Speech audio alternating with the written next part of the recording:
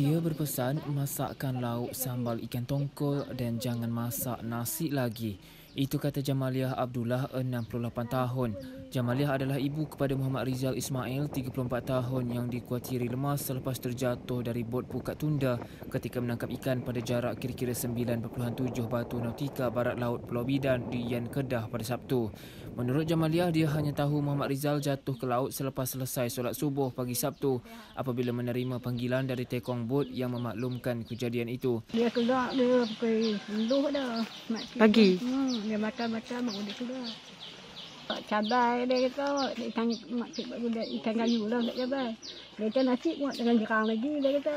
Cik balik pun buat kata. Duduk pun tidak dia ada tepi sebelah mak cik tu.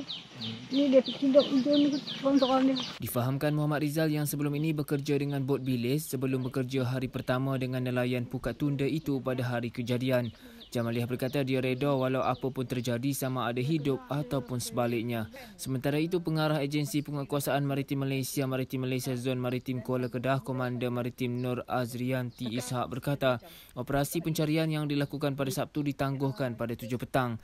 Operasi disambung semula jam 7.30 pagi Ahad yang membabitkan tiga sektor pencarian yang merangkumi 97.32 batu nautika persegi. Di mana pada semalam kita merangkumi 22.97 nautika.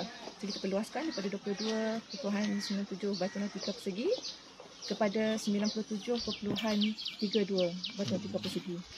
Ia merangkumi aset-aset uh, daripada agensi penguasaan maritim Malaysia sendiri dan juga uh, bantuan daripada agensi lain iaitu daripada PDRM dan juga APM.